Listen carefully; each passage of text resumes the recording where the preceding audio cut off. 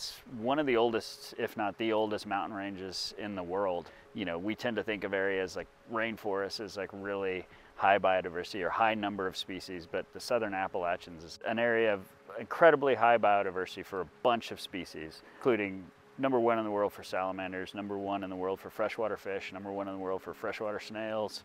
Uh, if you expand that into the southeastern United States, we're one of the highest areas of turtle diversity.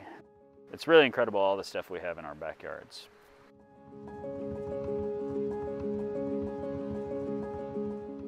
But the southern Appalachian region is definitely a salamander hotspot. It's got about a fifth of the world's diversity, or about 20% of the world's diversity. So for every, you know, five salamander species in the world, there's one that lives here in the southern Appalachians.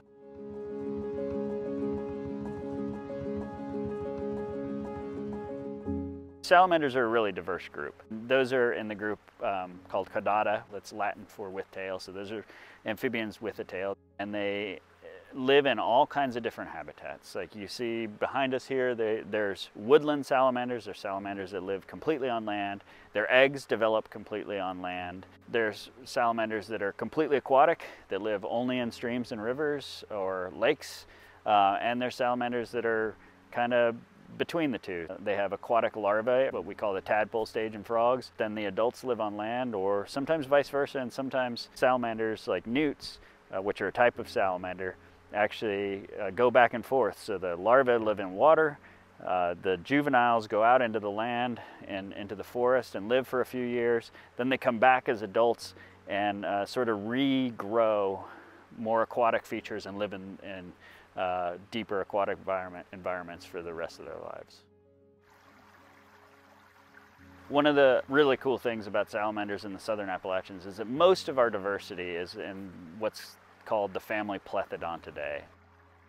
Those are the lungless salamanders. So those are mostly terrestrial, although there are a, lot that live in creeks. Like their name implies, lungless, they don't have lungs. They uh, breathe entirely through their skin. So they really depend on moist habitats, whether that's a creek or uh, under the leaf litter you see here to be able to keep their skin moist and, and allow that oxygen to pass across their skin rather than across their lungs like you or I do.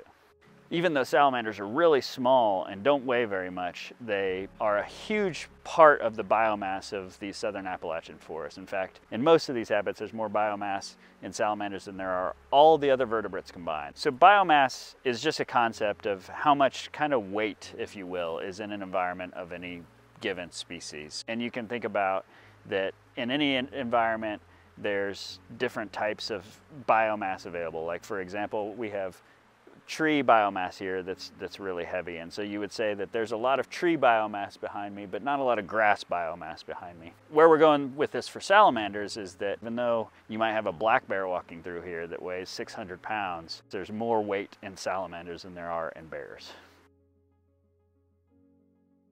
Salamanders are really important to the southern Appalachians and the environments they're in for a number of reasons. They're really important for the food chain, so a lot of things depend on them to eat. Losing those salamanders would be like losing grocery stores out of a city.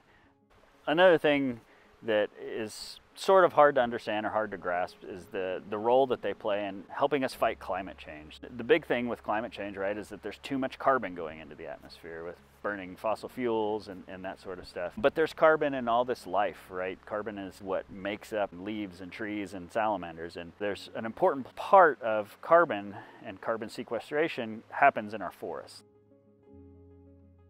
If there were no salamanders, all these little invertebrates and little insects in the, in the soil and, and in the leaf litter would be breaking down all that carbon and releasing that. Instead, what happens is they eat a little bit and then the salamanders eat them. The salamanders go underground and essentially sequester that carbon or deposit that carbon. And so by having salamanders in the environment, we're not releasing as much carbon and therefore helping fight climate change.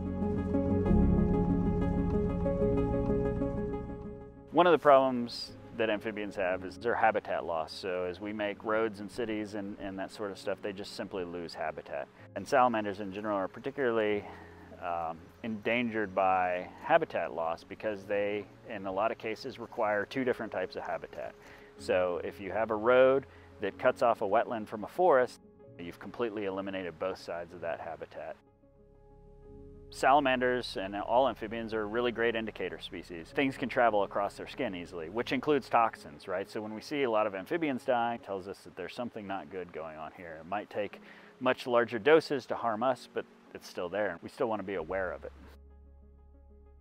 ARC does a lot, obviously, for amphibians. Try to do everything from helping the science and, and, learning more about the species, learning what we need to do to help species, um, all the way down to on-the-ground conservation and trying to preserve habitats, trying to restore habitats and, and important populations for species. Many people don't know that you, as a citizen of this country, uh, have a big voice and you have a say in how our national forests, our national parks are managed, uh, what the Fish and Wildlife Service is doing for endangered species. It's really important in your backyard or uh, the forests that you go to, the parks that you go to, that you take care of that habitat as well. Whether that's um, leaving your leaves on the ground during the winter or leaving logs on the ground for habitat or taking care of our creeks and, and streams and, and ponds and that sort of stuff. And it's even as small as not stacking rocks in a stream. Those things have uh, a big impact on siltation and salamander homes and all those little actions add up to make a big impact across the country if we all do it.